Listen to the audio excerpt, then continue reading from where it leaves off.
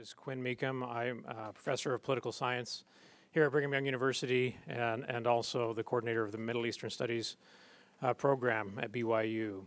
Uh, we're delighted to invite you to our panel on uh, Turkey and Syria. Uh, we will have two panelists uh, addressing you today. Uh, unfortunately, Ali Arslan from Istanbul University is not able to join us. but we do have um, Nuri Bodur from Turkey, uh, let me introduce him briefly. He is a senior associate in the Labor and Employment Practice Group uh, of the Esin uh, Attorney Partnership. Uh, he advises domestic and multinational clients on employment legal matters, immigration, and dispute resolution. Uh, he also advises international clients on the law on associations and foundations and represents domestic and multinational companies before all level of courts in Turkey. Uh, Nuri had a traineeship with the Istanbul Bar Association in 2006 worked with the European Court of Human Rights for a year and a half, and spent an eight week study visit at the Secretariat of the Committee on Legal Affairs and Human Rights of the Council of Europe, where he worked specifically on human rights issues. And uh, he will be addressing us today on freedom of religion in Turkey, a closer look through the eyes of the European Court of Human Rights. Uh, our second speaker this morning will be Nabil Fayyad, uh, coming to us from Syria. Uh, he is uh, a celebrated Syrian scholar who has studied languages, theology, pharmacy, drug manufacturing, uh, a range of things. He's written and translated numerous books and studies, uh, just a few of which include uh, Ezra Pound, The Poet of the Apostate, Nietzsche and Religion, Kafka, Metamorphosis, uh, Quran's Difference, Mother of All Believers, Camel War, Dhimmis, and Muhammad, the Prophet of Islam, an English translation.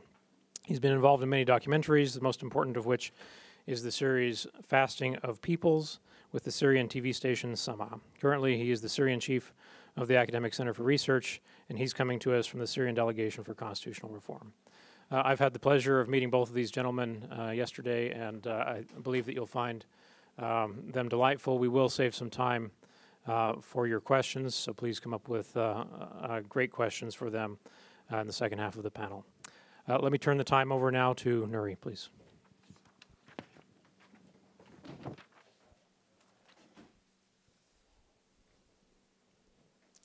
Thank you, Quinn. Good morning, everyone. Um, as, as Quinn said, uh, maybe before that, I should, I should uh, start by thanking uh, the Brigham Young University and everyone who participated, who took part in the organization of this beautiful symposium. This gives us a beautiful chance of uh, exchanging ideas and trying to understand what's going on in each other's country. Uh, as Quinn said, I, I uh, work in a law firm. I'm a legal practitioner.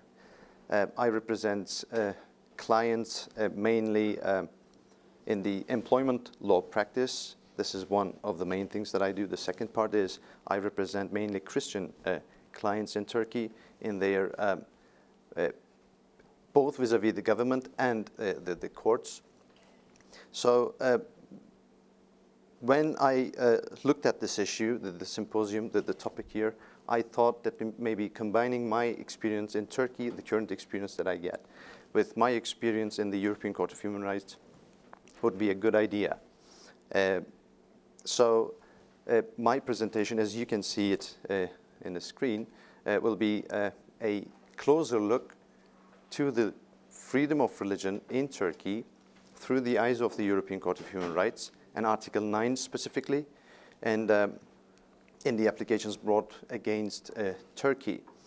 Uh, I recognize the fact that there are other issues that fall under the different, other different articles of the European Convention on Human Rights, but because of the time uh, I was led to speak today, I actually didn't include them in this presentation, but we can always discuss them uh, in the Q&A session. So to start with, uh, Turkey, the Republic of Turkey, became a party to the European Convention on Human Rights in 1954. Then Turkey recognized the individual, uh, uh, the application, individual application, the right to individual application in 1987. And three years after that, Turkey also recognized the uh, jurisdiction of the European Court of Human Rights.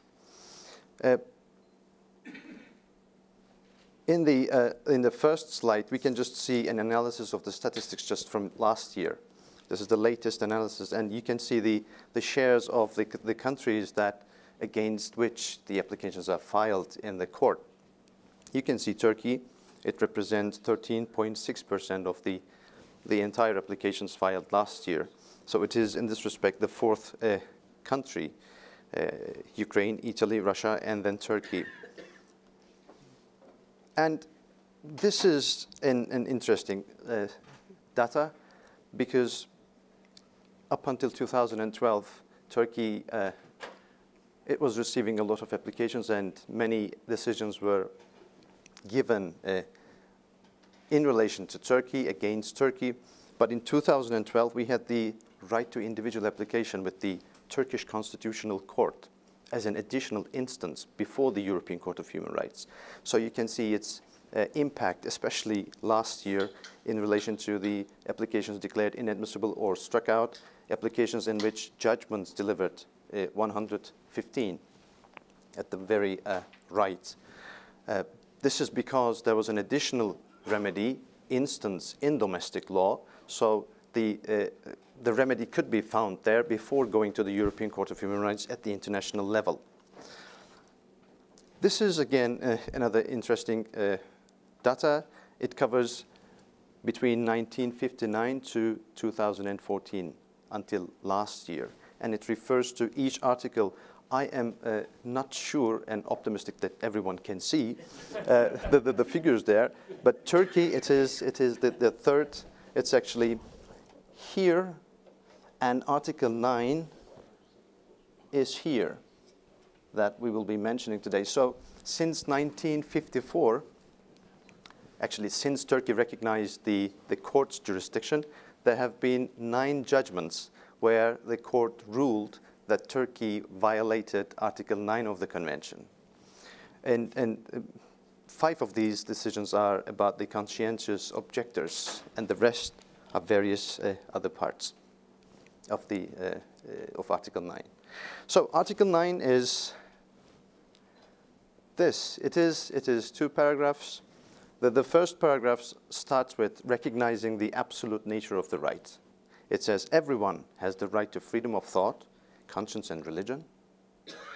This right includes freedom to change his religion or belief, change, and uh, freedom either alone or in community with others, and in private or public, to manifest his religion, this is the second item, or belief in worship, teaching, practice, and observance. The, the first paragraph refers to the absolute nature of this uh, right, which neither the state nor anybody else can interfere. This is, the, this is uh, often referred to as the uh, forum internum. This is the internal space of everyone. Then uh, paragraph two comes into play. Uh, this is uh, about the exception to the first paragraph, to the right recognized in the first paragraph. It says freedom to manifest. In the first paragraph, we talked about freedom to change and, and freedom to manifest. But the second paragraph only refers to how the freedom to manifest could be restricted. Freedom to manifest one's religion or beliefs shall be subject to subject only to such limitations as are prescribed by law and are necessary in a democratic society in the interests of public safety for the protection of public order, health or morals, or for the protection of the rights and freedoms of others. So these are the, the elements that the state authorities can rely on, can use, in order to restrict the right recognized in the first paragraph of Article 9. It is not as simple as that, and in practice, uh, huge discussions are going on, of course. And the, the reflection of this right, Article 9, uh, the right to uh, freedom, thought, conscience, and freedom, uh, religion, is, is uh, taking place under Article 24 of the uh, Constitution, as you can see in this slide.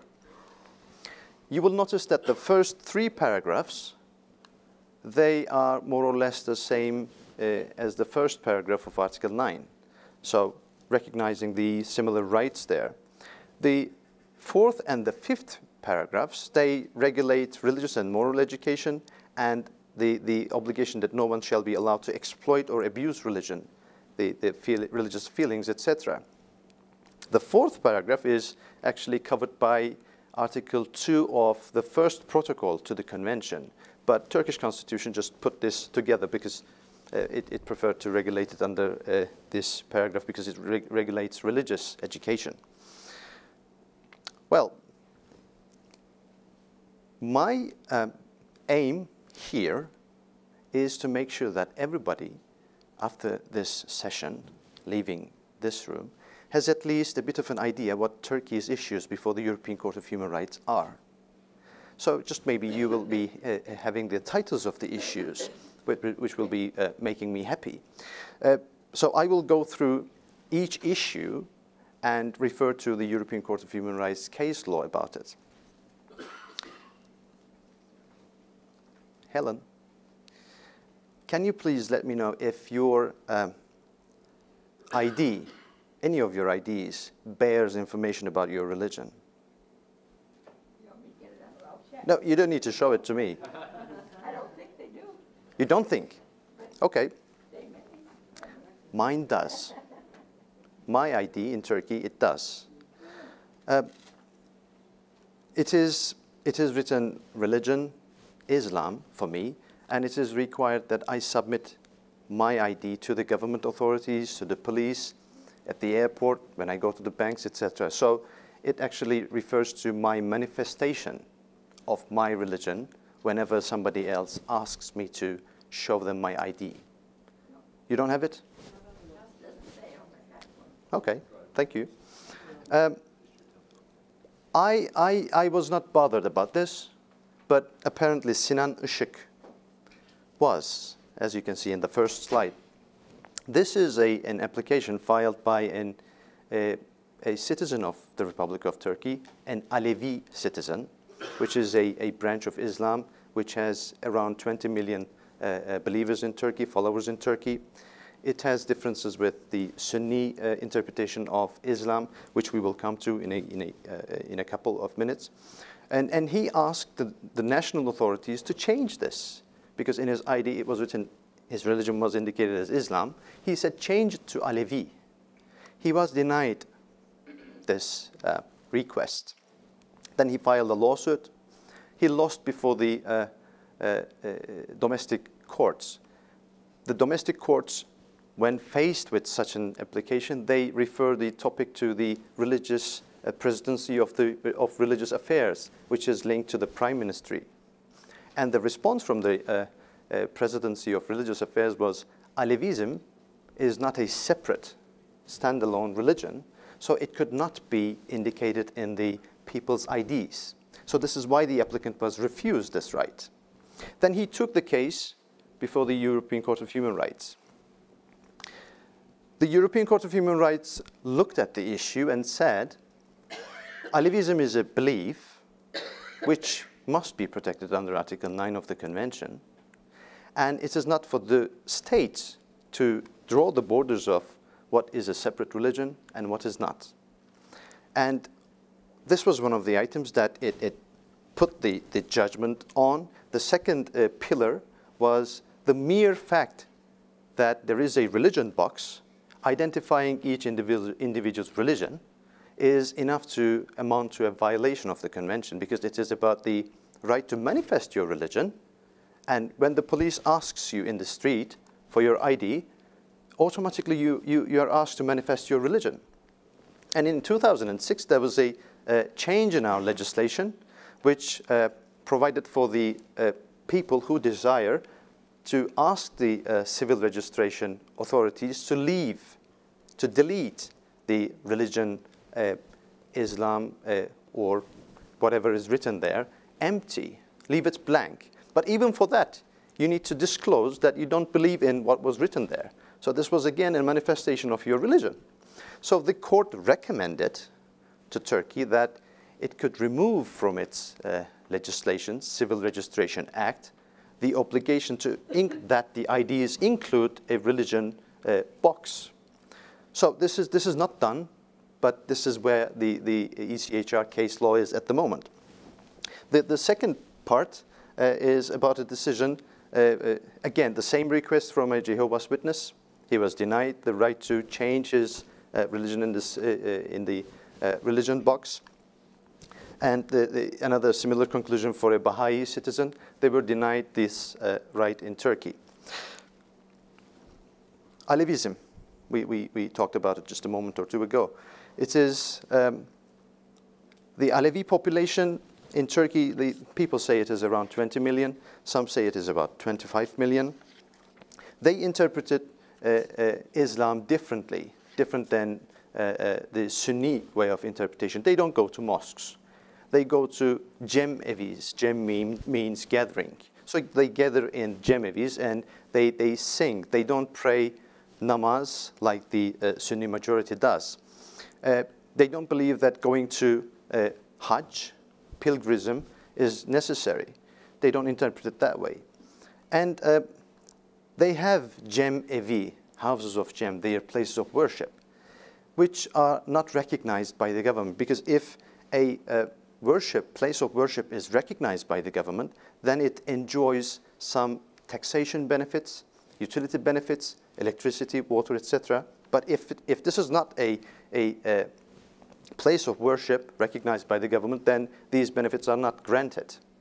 In this case, Cumhuriyetçi Eğitim ve Kültür Merkezi Vakfı, this is a foundation that runs Cemevis all around Turkey, uh, they asked for an exemption uh, from paying the uh, uh electricity bills.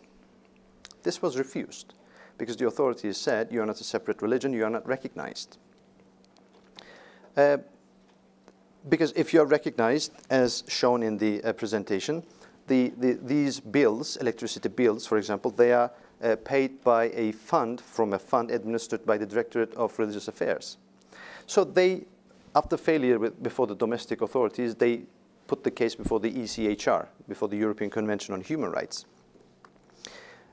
There was a violation of Article 14, uh, prohibition of discrimination, in conjunction with Article 9 of the Convention because the ECHR said you don't have any justifiable grounds to treat the places of worship of Alevis uh, according to uh, the, the, facts of the case. So you need to grant them this status so that they can enjoy the benefits that you recognize to other religions in your national legislation. Uh, a similar case, Doğan and others versus Turkey, is now pending before the uh, Grand Chamber of the court. It is filed in 2010. It is a, a request made by 203 Alevi citizens of the Republic of Turkey. Uh, it is now pending, so we don't know what's going to happen. Uh, but it is, it is uh, in the Turkish High Court, the, the Supreme Court of Appeals, uh, ruled in, in, on the 28th of May this year that the places of worship of Alevis should be given, uh, recognized as a place of worship. So I don't know what the impact of this national decision will be on the Doğan and others versus Turkey case. This is now pending, but this is a very positive uh, uh, improvement because the national court, the High Court in Turkey, adopted the, uh, the, the facts and findings of the European Court of Human Rights in the Cumhuriyetçi Eğitim ve Kültür Merkezi lawsuit. So it came to the same conclusion as the uh, ECHR did. Wearing of headscarves at school, this is another issue we, we, we actually had, I need to use past tense there, because uh, as the, the, current status of legislation in Turkey is uh, students can go to schools uh, with headscarves. It is, it is a little bit, uh, it is resolved for the moment, and in public service, public servants can wear the headscarf. But still, this was a, a, an issue discussed by the European Court of Human Rights in Leyla Şahin versus Turkey. This is a Grand Chamber judgment again. Uh, th in this case, the applicant was a, a student at the, at the medicine faculty. Uh, she was wearing the headscarf when she was coming to class. And at the time, uh, this was not allowed by the legislation. Oh, really? Okay. And the, the, the court looked into the uh, case law uh, saying that this uh, wearing of the headscarf, relying on a constitution, uh, court, constitutional court decision by the Turkish state, saying it is for the national authorities to decide if this is necessary or not. So it said there is no violation.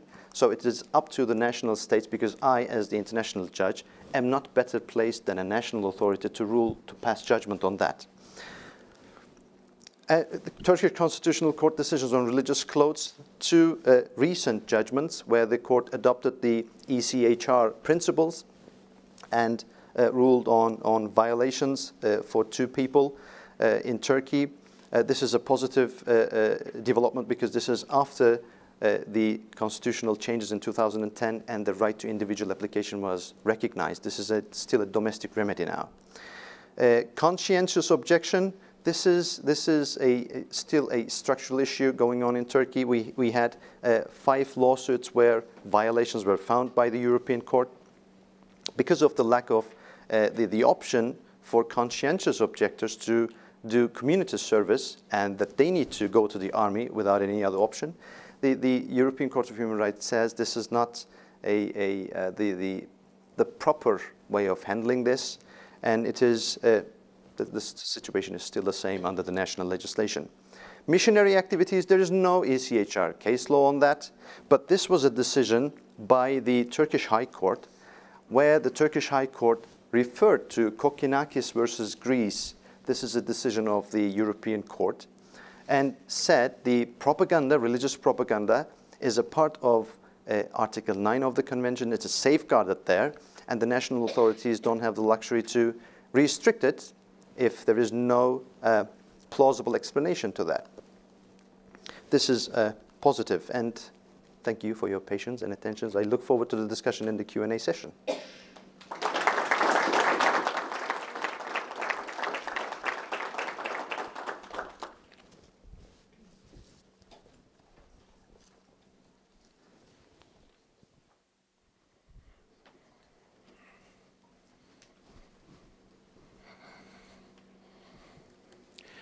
Good morning. Or uh, good evening, because I've come from a town that's controlled by Daesh, by ISIS. So good evening according to ISIS time. so um,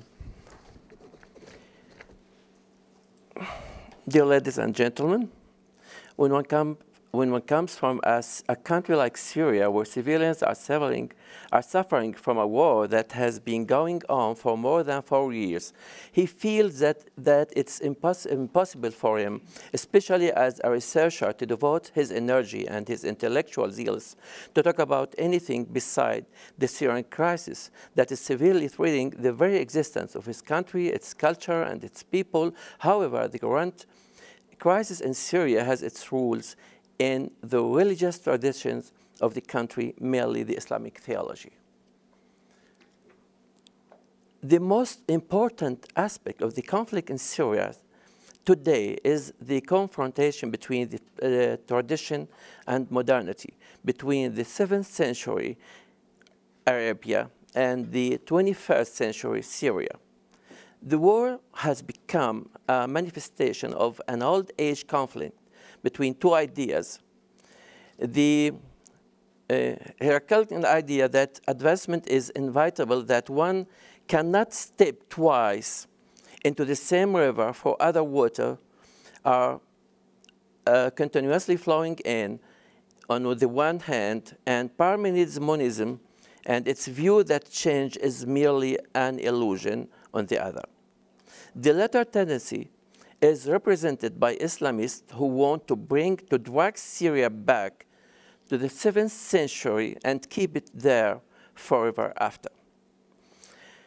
As a neutral observer and as someone has, who has spent most of his time, his life in Syria, I can say confidently that what is happening now is just is not just a military confrontation between uh, confrontation.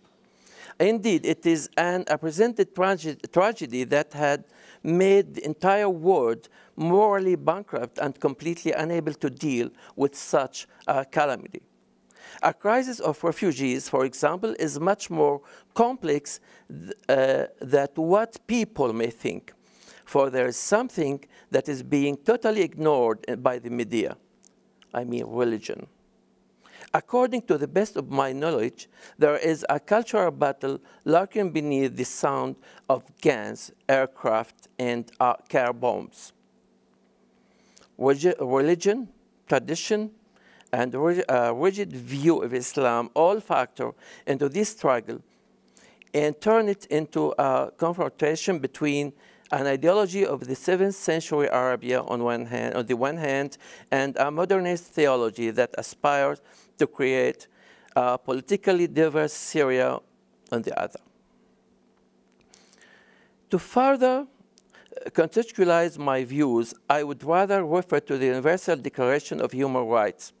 It's well known uh, internationally that this declaration is a historic turning point in the history of human humanity because it's an emphasis on the importance of human dignity and the affirmation that human life is always more valuable than an ideology, whatever that ideology may be.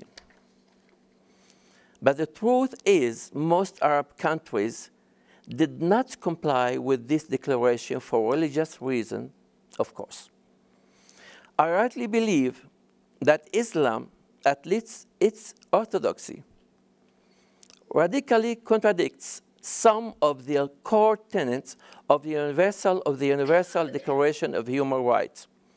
Reading the authoritative Islamic sources, one cannot help but to conclude that Islam is at least partly uh, incompatible with our views on human rights. Articles are substantially contradict Islamic law, Sharia, I mean, are Article 2, everyone is entitled to, to all rights and the freedoms without distinction of any kind. Article 16, 16 one Article 16.1, men and, and women of uh, full age without any limitation due to race, nationality, or religion have the right to marry and to found a family. Article 18, everyone, and this is very important, everyone has the right to freedom of thought, conscience, and religion. The right include, includes freedom to change his religion or belief, and freedom, either alone or com in community, with others and in public or private, to manifest his religion, his religion or her religion or belief in teaching, practice, worship, and observance.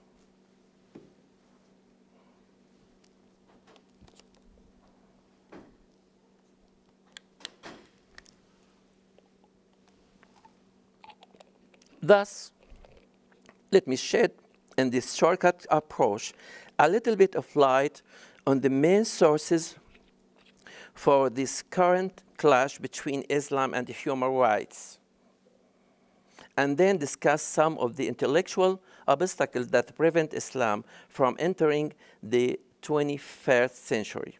By doing so, I hope to be able to explain how some organizations that adhere a literalist view of Islam can undermine international peace and security and destroy ancient cultures, as what happened yesterday in Palmyra.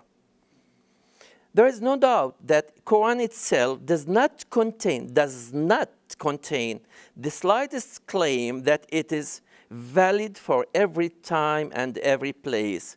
But the fact that Muslim scholars, for, for one reason or another, take some verses from the Quran and consider them without any convincing logical argument and evidence that Islam must sacred text is limitlessly valid then, now, and forever. The first verse, the, the first verse uh, they usually cites says, this day, this is the only, I mean, the main source for the claim that Quran, I mean, Islam is, I mean, Quran is valid for every time and place. This day have I perfected your religion for you, completed my favor upon you, and have, and have chosen for you Islam as your religion. Uh, 5 3, Al Ma'idah. In the Quran, it's Al Ma'idah, called Al Ma'idah. Here I will use three highly regarded Orthodox Muslim interpreters to understand this verse. First of all, Tafsir at-Tabari. At-Tabari says, and the evidence that what you needed from your religion, I completed all to you, so do not increase it after this day. Contrary to some of what is mentioned above, the Qurtubi says, many verses, many verses and laws of the Quran has come down after that verse. And among them, one about usury and another about kalala. Kalala, you know, it's a very Arabic word, means the man who died without, uh, one who dies without a parent or a child. This is the, the tafsir of Al-Qurtubi. As for Ibn Kathir, he has an interpretation that is more in line with Al-Tabari. The Almighty, this is my translation to the, to the, uh, to the uh, text. The Almighty completed for them the religion, so they do not need other religion nor a prophet than their, uh, their prophet prayers be upon him. So God make him the seal of the prophets and send him to the mankind and to the jinn. You know what the meaning of the jinn? Yes. So uh, no lawful, but his no forbidden, but his no religion except what he prescribed. And everything tells is right and the truth. This is the tafsir of Ibn Kathir to this verse. Muslim scholars have been using another two verses to perpetuate the notion that teachings of the Quran are timeless and not res uh, restricted to a specific place. One of the verses attests to the idea that the Quran is a complete guide for the believers by saying that nothing have we omitted from the book. 638. This verse has three similar interpretations. First, the first is interrupted by Ibn Kathir as that nothing was left unwritten in the mother of the book. He means, the, uh, I mean the, the Quran. This is Ibn Kathir. Second, Al-Tabari echoes the previous statement by saying that we meaning, uh, he, we meaning Allah, did not overlook anything in the book. There is nothing that is not in the book. Third, Another confirmation of the previous, of the previous view comes from Al-Qurtubi, who argues that in the Quran, nothing of the religion is left without being referenced. In short, Muslim scholars have been following such an approach to semistically keep the myth that the Quran altogether is for every time and place alive. To expound on the difficulties and inflexible view uh, uh, of difficulties or such, such an flexible view generates, I will point out some contradictions between the Quran and the, uh, the UN Human Rights Charter. Demonizing the other in Islam. In Islam, there are two kinds of other. People, the people of the scripture, I mean Christian and Jews, and the other people who are, who are neither Muslims nor the people of the scriptures. For the people of the scripture, the Quran says, fight those who believe not in Allah, nor in the last day, nor hold that forbidden which hath been forbidden by Allah and His Messenger, nor acknowledge the religion of truth from among the people of the book until, and this is very important, they pay the tribute with, with willing submission and feel themselves subdued. This is 929. The people of the scripture, as a term, explicitly means the Jews and the Christians. However, we can add them Sabians. Sabians in Arabic, Sabia or Mindaiyin, the people who, uh, I mean, I have um, already a documentary on the internet about Sabia, and uh, they worship uh, planets, and you know they are already in, in Iraq, in Iraq, Abadan, Baghdad, and Damascus. Uh, this group have three options. I mean, Christians, Jews, and Sabians. Either to fight the Muslim to death, or to convert to Islam, or to pay the tribute with willing submission and feel themselves subdued. The second kind of the other in Islam presumably includes anyone who is neither a Muslim nor belong to the people of the scriptures. This is particularly uh, the worst of the humankind. These people have two terrible choices. Since that they cannot pay the tribute with willing submission and feel themselves subdued, they have either convert to Islam or to fight the invading Muslims to death. The second problem or second issue in Islam is slavery. Uh, expectedly, I, uh, Islam uh, was in harmony with the spirit of the age in which it was produced. The Quran does not prohibit slavery. Yet, at the same time, it's, it ironically uh, forbids some of then common practices, which is far less threatening to humanity than slavery, such as and, uh, intoxicants and gambling, dedication to stones uh, of stones, and divination by arrows. Quran 5:90. To be fair, one must acknowledge that Muhammad, however, did encourage freeing slaves as part of redeeming one's sins.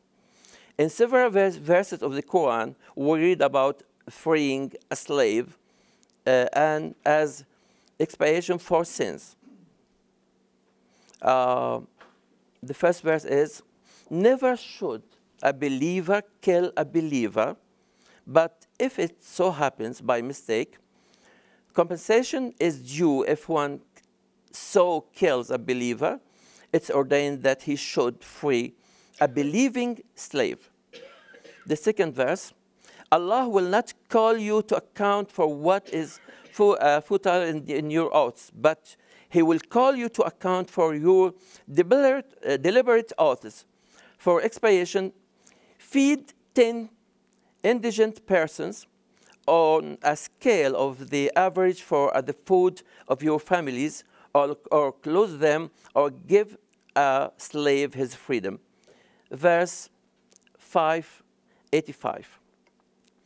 By those who divorce their wives by zihar, zihar from zahar, zahar, uh, I mean back, to give her his back.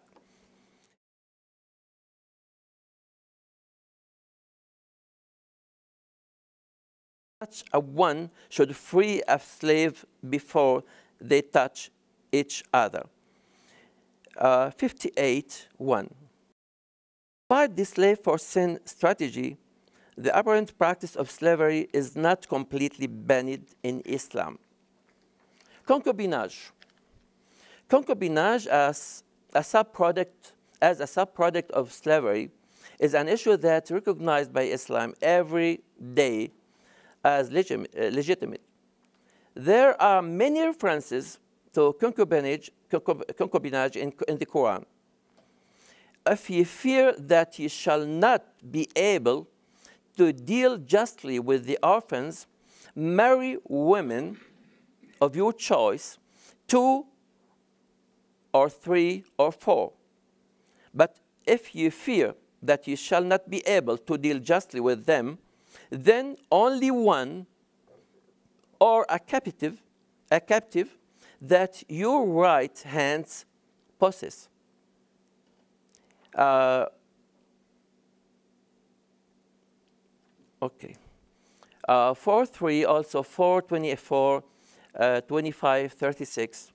Nevertheless, nevertheless, it must be noted that without hes hesitation that some of Prophet Muhammad's behaviors and attitudes are completely in uh, contradiction with those of the Islamic scholars that came much later after him and fiercely ha hampered an attempt to modernize Islam and contextualize the, some of the con uh, controversial Quranic verses. Regardless of the vari varying positions of some of his early successors, the ultimate validity of the Quran, some important Quran provision uh, were suspended shortly after Muhammad's death according to the needs of the then newly established Muslim state.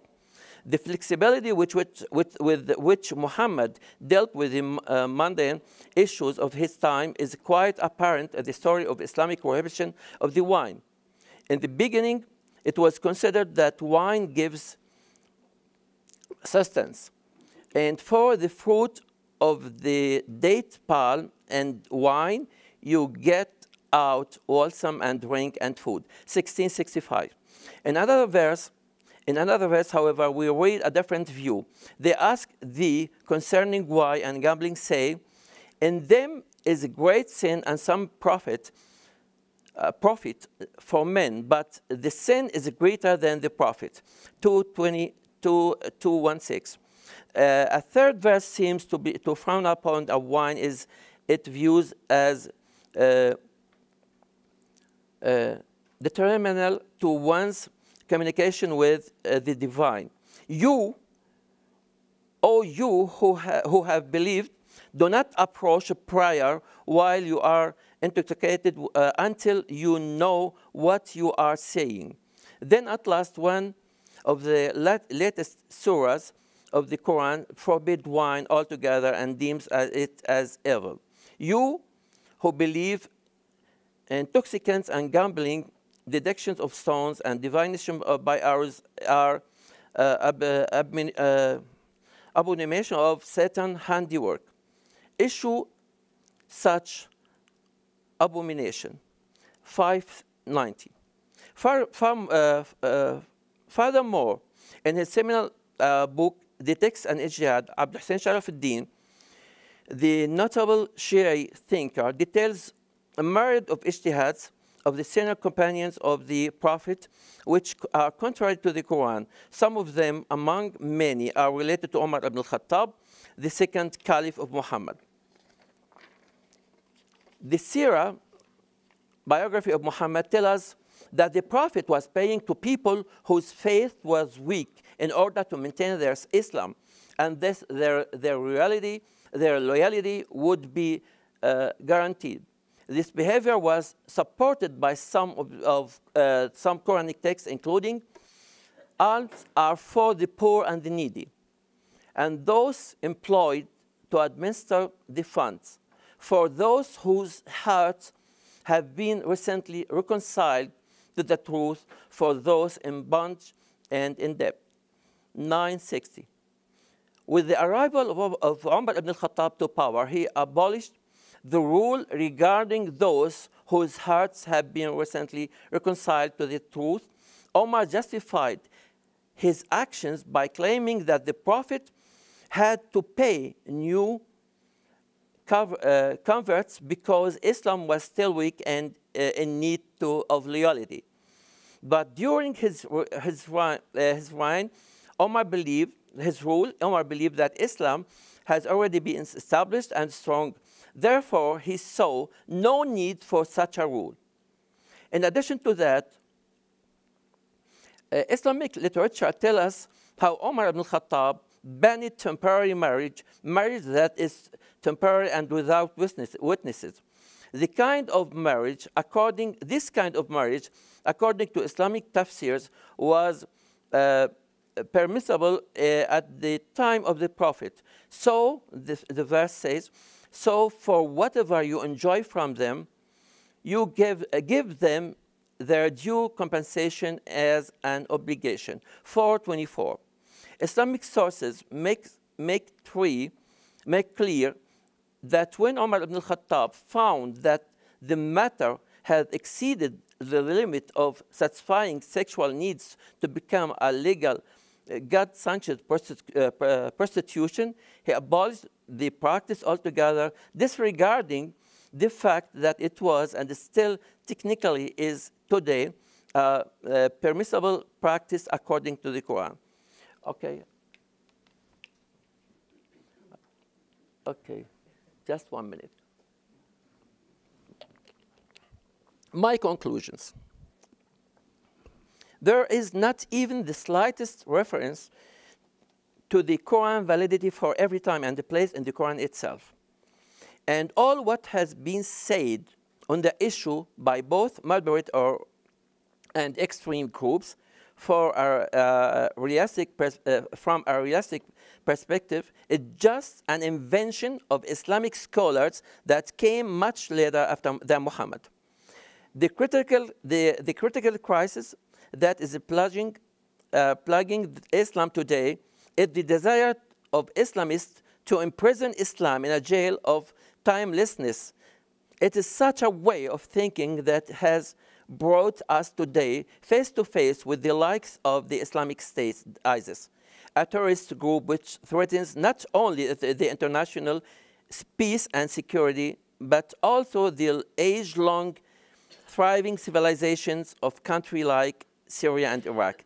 The solution to the global crisis that has resulted from the rise of Islamic State in Syria, in Iraq and Syria requires for the first, uh, first and foremost the rehabilitation of the entire Islamic culture that, product, that produce the like of the fighters of ISIS. The rehabilitation cannot be done only by only utilizing the effort of Arab secularists, modern Muslims, and Westerns who are interested in doing uh, humanity a favor by combating radical Islam. In order to achieve any tangible results in, the, in this regard, we need an, uh, an urgent reformation of the public Islamic institutions that claim to be moderate while in reality keep, they keep on perpetuating the, the uh, uh, holiness of certain Islamic texts and doctrines that constitute the ideological backbone of, of, of almost all terrorist groups from Al Qaeda to ISIS and Boko Haram. Finally, in ironic twist of fate, I found myself today here in front of you talking about the multinational, the multinational group, uh, Islamic group, uh, terrorist group, whose members do not drink wine, yet they behead people, uh, they destroy churches, and ancient ruins, rape little children, and kidnap women to use them uh, uh, as sex slaves. Wine is not drunk by those fanatics because the, the ban on wine in Islam is crystal, is a, a crystal clear. However, till today, most Muslim scholar, scholars do not at all discredit the passages that make it permissible for the fanatics to behead, loot, rape, and destroy. These passages have always been there and still considered sacred until they are rejected by mainstream Islamic institutions that have the influence to make a real change but are willing to, there is a good chance that the plight of our Yazidi brothers and sisters will be the plight of every life loving man and woman who lives in the 20th first century and has no intentions to return to the Dark Age. Thank you.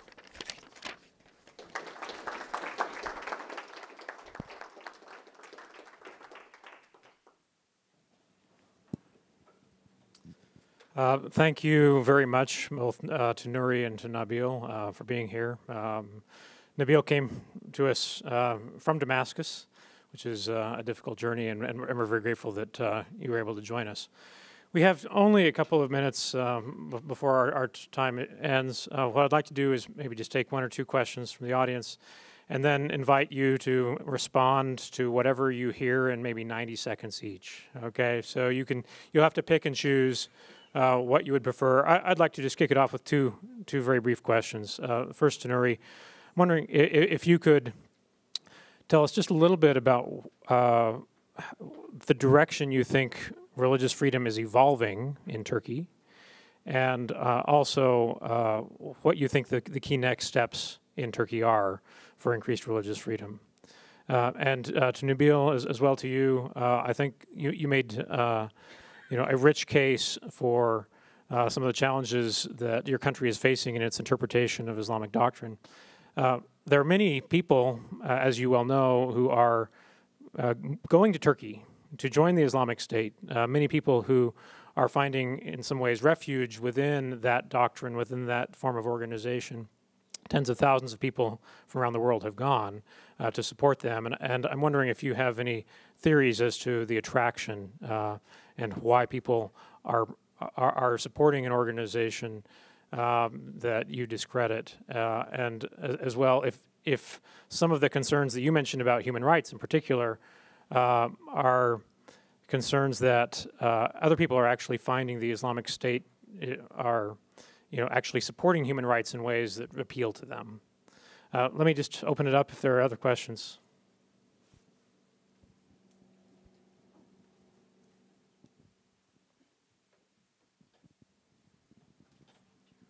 Uh, thank you. Uh, I'm David Little. I had a question to the uh, Turkish uh, individual. Um, do the Alevis uniformly think of themselves as a religious group uh, independent of Islam? I have read recently that there's at least some division of opinion within the Alevi group as to whether they consider themselves an independent or uh, different religion and would and whether they actually would be satisfied with being categorized as a religious minority. Could you clarify that uh, uncertainty in my mind? Thanks.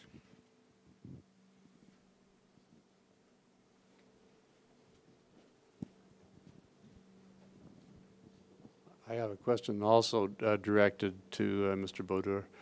Um, you've talked to us about uh, the various cases in the European Court of Human Rights involving Turkey.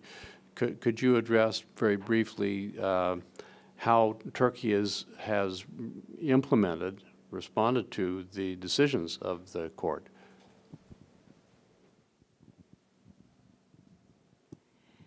Um, my, my question is to Mr. Fayyad. Um, I was just interested in the numbers of people, uh, the, the number of Muslims in the world, and what percentage of that number is extremist, and uh, what can be done or what can people around the world do um, to help uh, help in the in the areas that you're looking for help in. Okay, thank you. I think uh, that our time starts now. So Nuri, 90 seconds. Come on up. Okay.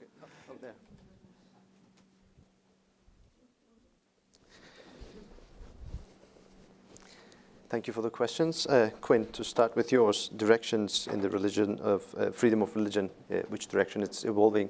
Uh, when I uh, remember the, while it's still here, this, this presentation, this is by the Turkish Constitutional Court.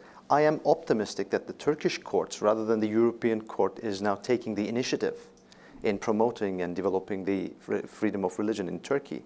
Because what the Constitutional Court does is apply the principles adopted by the ECHR and the same mechanism. Was there a right recognized? Was there an interference with that right? Was there interference uh, uh, for a legitimate aim? Was it prescribed by law? And lastly, was it necessary in a democratic society? So the Turkish Constitutional Court is, is using the same systematic in addressing the issues. And I am uh, optimistic that it is evolving in the positive direction. Uh, next steps, I believe it is crucial that the decision, decisions of the Turkish Constitutional Court are also recognized uh, by the lower courts, the courts of lower instances, because otherwise it's not going to be tangible for the citizen in the street. Uh, for the question raised by uh, uh Mr. David Little, right? Um, I think there is a, a little bit of dis uh, discussion among the, the Alevis themselves, but I believe the dominant view is that they are not a a separate religion, but they are just a branch of Islam. They follow Prophet Muhammad, and then they believe in the leadership of Prophet Ali, because Alevism means the, the followers of Ali. And uh, I don't believe that it is a separate religion, but it is a, just a different interpretation of Islam in terms of praying, pilgrimage, etc. And the, the last question that you raised. I just ask, uh, do they, would they be satisfied with the category Oh, yeah. of religious minority? Is that important uniformly to the Alawites? Uh, absolutely, yes. Yes, because this, this has been their struggle for many years in Turkey now, and we are talking about a group of approximately 20 million people here. Um, I forgot the second part, thank you. Uh, the, the, the last question that you raised, sir, implementation of the CHR decisions. Um, the, the issues that I listed, some of them, religion boxes on IDs, this is not remedied fully. Uh, conscientious objection, it is not remedied uh, fully. Uh, the, the headscarf issue is remedied. Uh, the, the, um, but other than that, I believe that Turkey is it's doing its best because when we, we are talking about law here, but the surrounding conditions in Turkey are a little bit uh, different and impacting the implementation, the full implementation of the decisions of the court. So uh, it is doing its best, at least this is what I can tell you. In, in the context of a democratic country where ninety-nine percent of the population belongs to one religion and the politicians need to get elected. Yeah, yeah. Uh, thank you, I think. Thank you very much.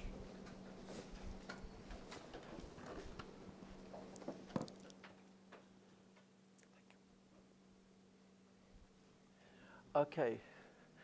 First of all, I wish to add something to my friend Nuri, okay, about the Alawites, because um, some of my relatives are Alawites, and I, I, I, um, you know, I had many articles about their faith, about their history, about everything. So Alawites in Syria are three categories. They are not the same. First is Klazi, th- second is Makhusi, third is Murshidi all of them are not Muslims. They do believe in Trinity. I mean, they believe in three sacred people who are Muhammad, Ali ibn Abi Talib, and Salman al Farisi. They have no mosques, they don't fast Ramadan, and they have some very special ways of worshiping. And uh, um, they, they consider themselves today in Syria, they don't say that, that they, we are Muslims. They say we are Alawite. The, the old name of Alawite is Nusayriyun, Nusayri. And the old name of the Christian is Nasara. And the old capital of the Nasara, the Nasara and Nazarenes have had two capitals. One in the mountains of the Alawites, which is uh, um, um, one in, in, in Jordan, which is, uh, which is Pella, other in, in the mountains of the Alawites. So I think there is, I have a book out about Al Nasara, and I think there is a good or uh, uh, uh, um, a relationship between Al Nasara and Al Nusayriyin. Al Nasara, the Nazarenes, and Nusayriyin, Al Alawiyun, the Alawites. So um, according to my experience, according to my research, according to my, to my readings, Alawites are not Muslims. Yes, yes. The, the Murshidis among Alawites, they do believe in someone who as a god. His name is Salman al-Murshid. They, they are about half a million in Syria. They don't pray.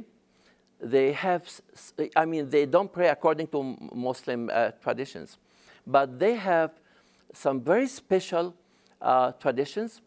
They, they don't, the Alawites have the same uh, uh, Eid as Muslim. For example, Eid al-Fitr, Eid al-Adha, yes, I'm sorry. But Murshidis have no Eid as Alawites. Sorry? Okay. The question? Yes? Sorry. The number of Muslims in the world and the percentage of extremists of those Muslims. According to Al Jazeera TV, I think um, uh, uh, before maybe three weeks, um, uh, they asked in Al Jazeera TV what is the percentage uh, of people who support ISIS in the Gulf? The answer was 83%. And there was another question in Al Hayat magazine in Saudi Arabia about the same thing in, in, in uh, last March. And the answer was the, uh, the, the, uh, the people who support ISIS in Saudi Arabia and the Gulf is about 82%. Yes. Why, why do the Muslims, uh, why are they behind? Why are such a per- high percentage? What is the attraction of ISIS to the people, uh, to the Muslims themselves, since such, such high percentage of them are actually in favor of ISIS? Yes, it's very, it's very complicated, you know, question. It's not. We- We, we, actually we yes. may, may not have time, Many, but we en- encourage you to come down and, and maybe have that conversation during our break. So um, thank you very much to both of our panelists. Please give them a round of applause.